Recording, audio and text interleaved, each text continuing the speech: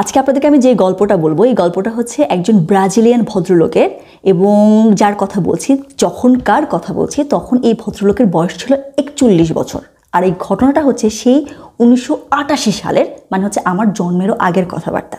তো, উনিশশো আটাশি সালে ব্রাজিলিয়ান একচল্লিশ বছর বয়সী এই ভদ্রলোক অনুভব করলেন যে আমাদের বিভিন্ন সুপার পাওয়ার থাকে না, আমরা বলি উপরওয়ালার তরফ থেকে লিখে দেয়া কোনো একটা প্রতিভা উনি অনুভব করেন যে ওনার সেই প্রতিভাটা হচ্ছে লেখালেখি করা হ্যাঁ? তো সেই সেই বিশ্বাস থেকে উনি উনি চিন্তা করলেন যে ওনার মন এটাই চায়। ওনার যদি কোথাও কোনো পাওয়ার থাকে সেটা হচ্ছে লেখালেখি। তো এইটা থেকে চিন্তা করে একচল্লিশ বছর বয়সে এই ভদ্রলোক একটা বই লেখেন, বইটা প্রকাশও করেন তিনি হ্যাঁ? তো মজার ব্যাপার যেটা, সেটা হচ্ছে যে বইটা প্রকাশ করার পরে প্রথম যে এক সপ্তাহ, সেই সপ্তাহে বইটা বিক্রি হয় কেবল এক কপি এবং তারপরে পাঁচ মাস চলে যায়, এই বই আর কেউ কেনে না। ষষ্ঠ মাসে গিয়ে বইটার আরেক কপি সেল হয় এবং সেই কপিটাও ওই যে আগে যেই লোক বইটা কিনেছিল, সেই লোকটাই বইটা কেনে। হ্যাঁ মানে নতুন কোনো কাস্টমার নেই এবং বছর যখন পেরিয়ে যায়, তখন একজন প্রকাশকের কাছে বইটা হচ্ছে একটা ব্যবসা। লেখকের কাছে তার সন্তানতুল্য বা যাই হোক না কেন তার সৃষ্টি, কিন্তু প্রকাশকের কাছে এটা ব্যবসা, তাই না? তো যখন ব্যবসা হচ্ছিল না বই দিয়ে, তখন প্রকাশক কী করলেন? এই লেখককে বাদ দিয়ে দিলেন ওনাদের প্রকাশনী থেকে। ওনার বাকি যে বইগুলো ছিল, সেই বইগুলো ধরিয়ে দিয়ে ওনাকে ওনার সাথে যে চুক্তি ছিল, সেটা বাতিল করে দেয়া হলো। তো এখন এই ভদ্রলোক, তিনি বিশ্বাস করতেন, যার কথা বলছি লেখক, তিনি বিশ্বাস করতেন যে কোনো একজন মানুষ যদি কোনো একটা কিছু চায়, যদি মন থেকে তিনি যদি কোনো একটা জিনিস চায়, তাহলে কোনো না কোনোভাবে পৃথিবী সেটা তাকে পাইয়ে দেবে। কোনো না কোনো দরজা তার জন্য খোলা হবে। এই আশা থেকে এবং এই বিশ্বাস থেকে এই ভদ্রলোক যখন এক প্রকাশনী তাকে বের করে দেয়, তখন সে অন্যান্য প্রকাশকের দরজায় কড়া নাড়তে শুরু করে এবং খুব স্বাভাবিকভাবে আপনি যদি দশটা দরজায় কড়া নাড়েন, একটা দরজা তো খুলবে এবং এই ভদ্রলোকের জন্য একটা দরজা খুলে যায়। দ্বিতীয় সুযোগ পায়, ঠিক আছে? এই ভদ্রলোক। এবং দ্বিতীয়বারে যখন এই বইটা যখন প্রকাশ হয়, তখন দেখা যায় যে আগের চেয়ে ব্যতিক্রম। একটু একটু করে, অল্প অল্প করে বইটার বিক্রি শুরু হয়। তিনশো কপি, তিন হাজার কপি, ছয় হাজার, নয় হাজার, এমন করে আস্তে আস্তে কী হয় সংখ্যাটা বাড়তে থাকে বাড়তে থাকে। হ্যাঁ তো মোটামুটি অষ্টম কি নবম মাসের দিকে ইউএসএ থেকে আবার এক ভদ্রলোক আসে ব্রাজিলে, বেড়াতে আসে। তো বেড়াতে আসার পরে এই ভদ্রলোক এই বইটা হ্যাঁ নিয়ে বলে যে, এটা যদি তুমি অনুবাদ করে দাও, তাহলে আমি ইউএসএতে নিয়ে এই বইটা বিক্রি করার চেষ্টা করব। হ্যাঁ তো বড় গল্পকে যদি ছোট করে ফেলি, তার মানে হচ্ছে এই বইটা অনুদিত হয়ে, ইংরেজিতে অনুদিত হয়ে এই বইটা ইউএসএতে যায়। এবং আরও ছোট করে যদি বলি, শেষ পর্যন্ত দেখা যায় কিছুদিন পরে বা সময়ের সাপেক্ষে আস্তে আস্তে, এই বইটা Bill Clinton, Will Smith, Madonna সহ বিভিন্ন সেলিব্রিটি থেকে শুরু করে বিভিন্ন শ্রেণি পেশার মানুষজন এই বইটা অনেকটা লুফে নেয়, যাকে বলে। হ্যাঁ এবং নিউ ইয়র্ক টাইমসে এই বইটা বেস্ট সেলার হিসেবে থাকে টানা তিনশো সপ্তাহ। আরও মজার যে ব্যাপার, সেটা হচ্ছে যেই বইটা মানে প্রকাশ হওয়ার পরে প্রথম এক বছরে বিক্রি হয়েছিল দুই কপি সেই বইটা এখন পৃথিবীর প্রায় আশিটা ভাষায় বা তারও বেশি ভাষায় অনুদিত হয়ে গেছে। পৃথিবীব্যাপী বইটা ছড়িয়ে পড়ে।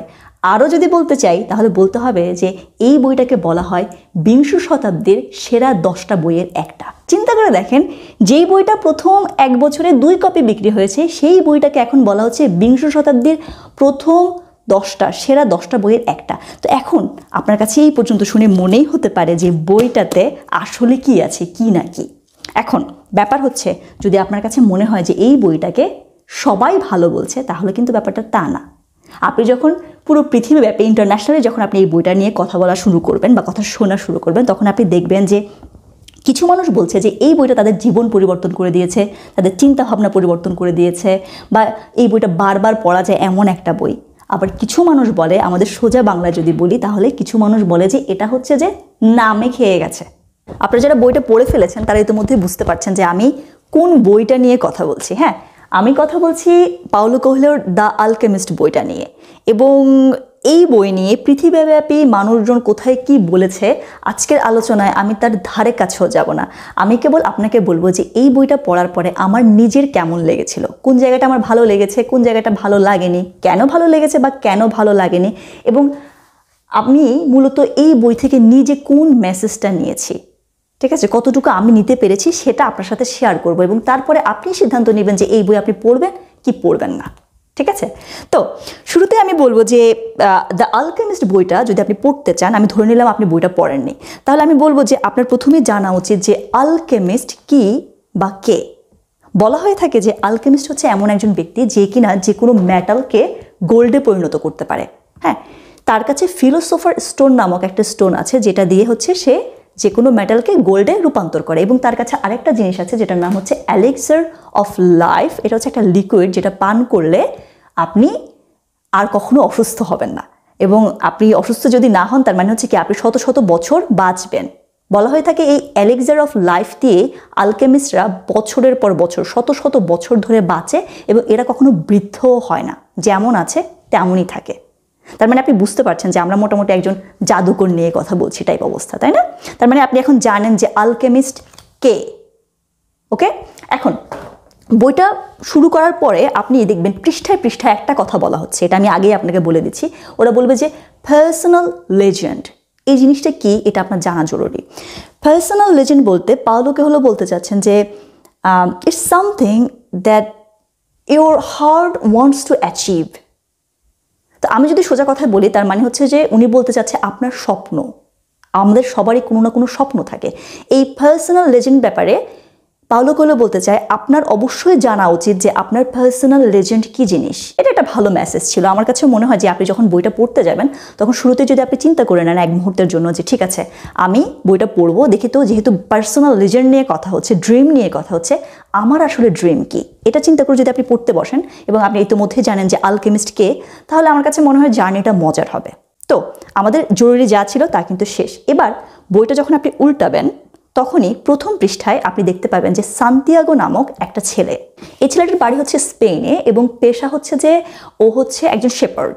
বইটা শুরু হয় অনেকটা এভাবে যে এই সান্তিয়াগো ছেলেটা কোনো একটা চার্চ, কোনো একটা পরিত্যক্ত চার্চের মধ্যে তার যে ভেড়ার পাল আছে, সেই পাল নিয়ে ঘুমাচ্ছে এবং চার্চটা এতটাই বিধ্বস্ত অবস্থা যে চার্চের ভেতর থেকে একটা গাছ, সাইকামোর গাছ, যেটা ভেতর থেকে উঠে ওই যে চার্চের যে ছাদ আছে, ছাদ ফুটো করে বের হয়ে গেছে।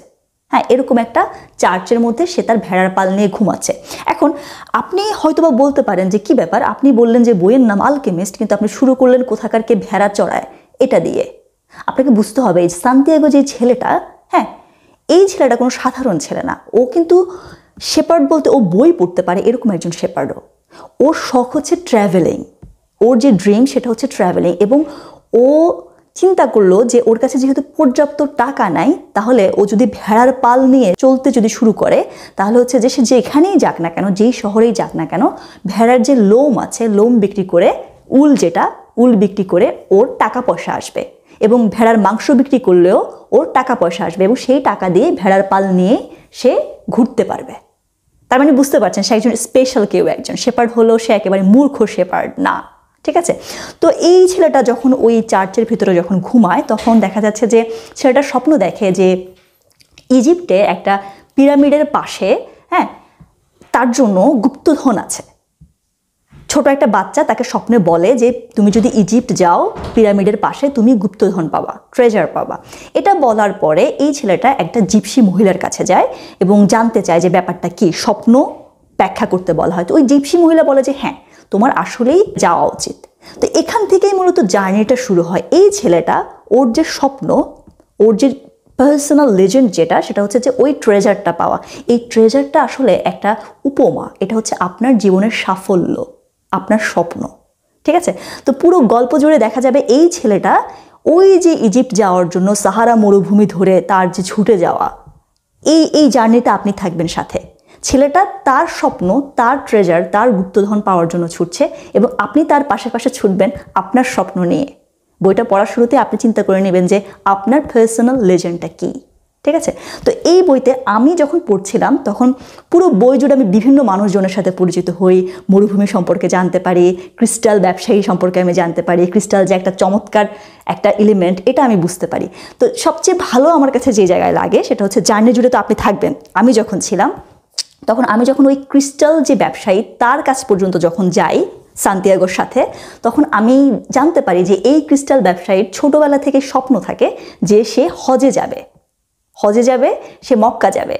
এটা থাকে তার জীবনের ছোটবেলা থেকে তার স্বপ্ন। কিন্তু সে কখনো হজে যায় না, কারণ তার কাছে টাকা নাই, তার ছোট দোকান, দোকানটা কারও কাছে দিয়ে চলে যাবে, এটাও হয় না। তো শেষ পর্যন্ত দেখা যায় যে এই ক্রিস্টাল ব্যবসায়ী হ্যাঁ তার পর্যাপ্ত টাকা হয়, তার দোকান এত বড় হয় যে তাকে আলাদা কর্মচারী রাখতে হয়। কিন্তু তারপরেও এই ক্রিস্টাল ব্যবসায়ী আর যায় না, মক্কা সে যায় না হজ করতে। কেন যায় না? সে বলে যে, আমি যদি যাই, সারাটা জীবন আমি স্বপ্ন দেখেছি যে আমি হজে যাব। এটাই আমার পার্সোনাল লেজেন্ড ছিল। এই স্বপ্ন যদি আমি ছুঁয়ে ফেলি, তাহলে আমি বাঁচবো কি নিয়ে?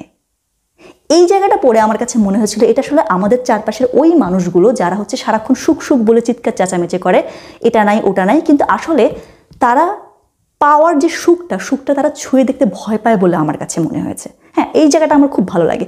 আরেকটা জায়গায় আমি চমৎকার একটা মেসেজ পাই।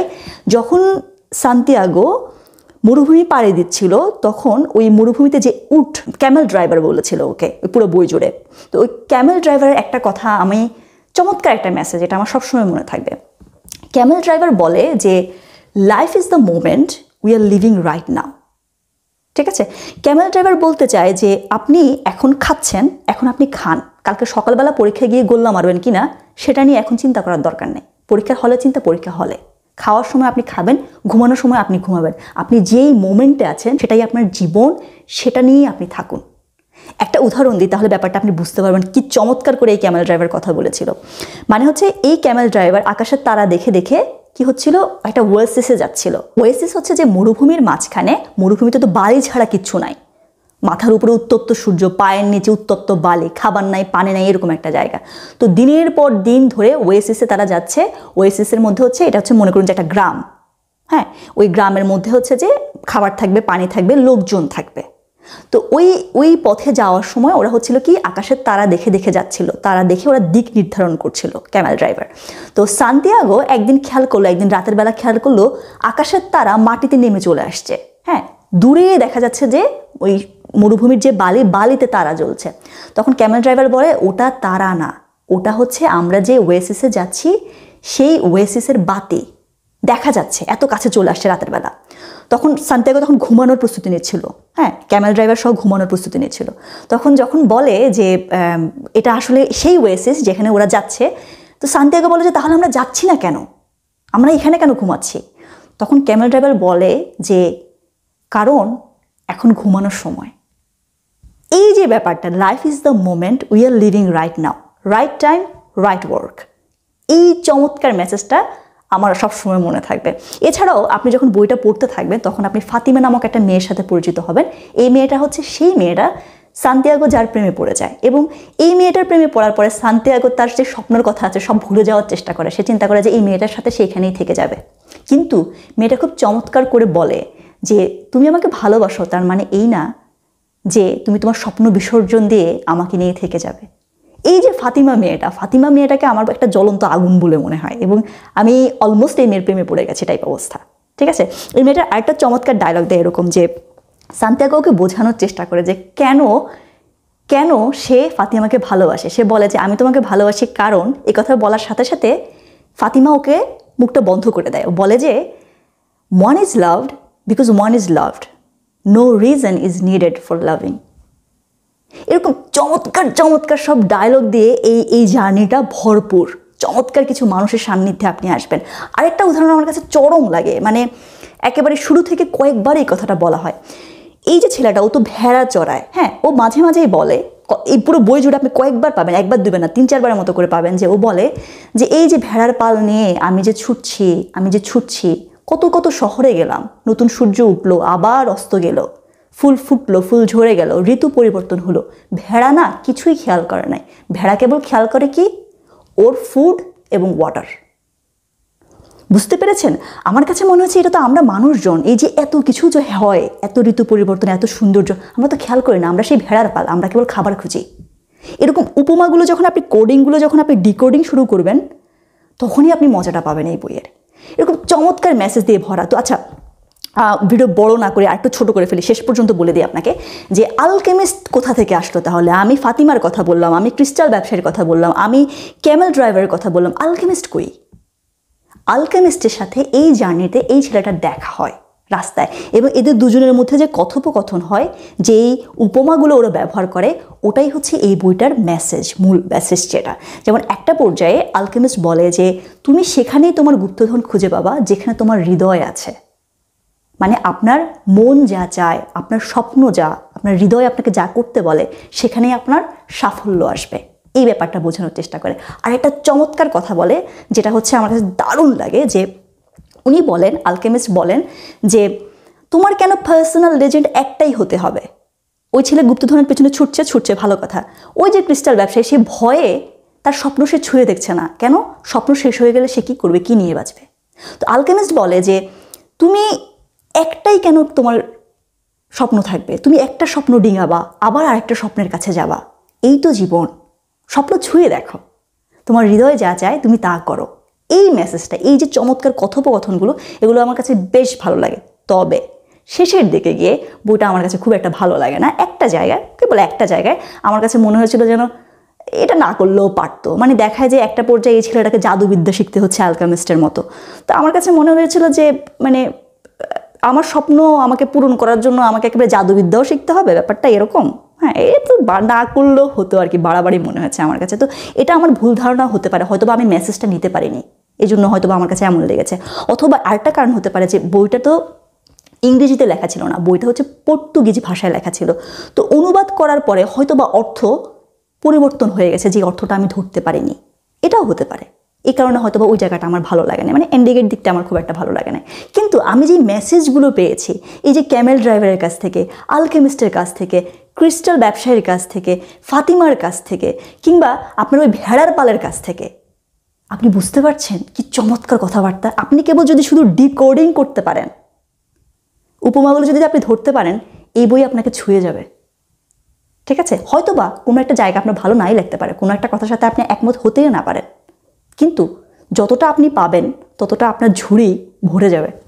এটা আমার কথাবার্তা আর কি। ঠিক আছে?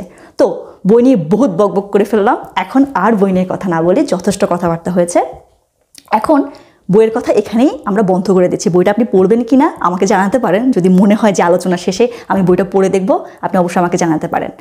আজকের বই নিয়ে কথাবার্তা এ পর্যন্তই থাকুক। আমি এখন যেটা করতে যাচ্ছি সেটাকে বলি আমি পর্ব হাবি যাবে ঠিক আছে?